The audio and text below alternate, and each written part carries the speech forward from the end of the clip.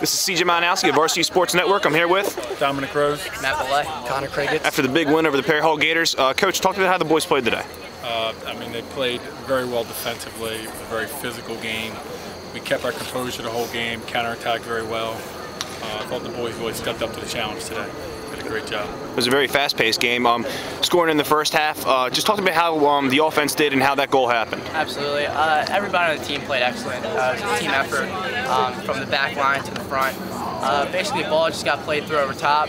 I just anticipated the ball and just put it in the back of the net. Uh, but again, everybody played excellent. Uh, it's a great group effort and uh, it's a great win for our team. You guys did a great job. Number 14 also having a heading uh, header goal in there um, in the second half. Um, now defensively, you guys almost had the shutout. They scored late in the game, but you had a couple of key um, game-saving uh, saves. Uh, talk to me what the defense did today.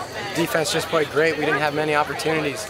Uh, a couple big shots. I made a few saves. That one rip at the end was a good hit, but the defense played great all day. Stepped up. The big throws, we were concerned. We knew they had good two strikers up top, and they stepped up to the challenge today.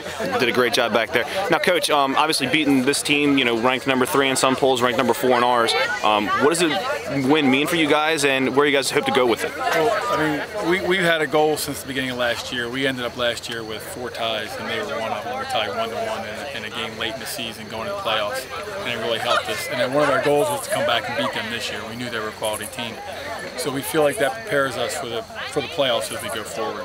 You know, we just played Calvert Hall on Saturday. Now we play Perry Hall today, and we feel like we bounced back from a poor performance on Saturday, and now we feel like we're this is the team that we have built from last year. So. You guys look great out there today. Congratulations on the win, and good luck this year. Thank you, sir.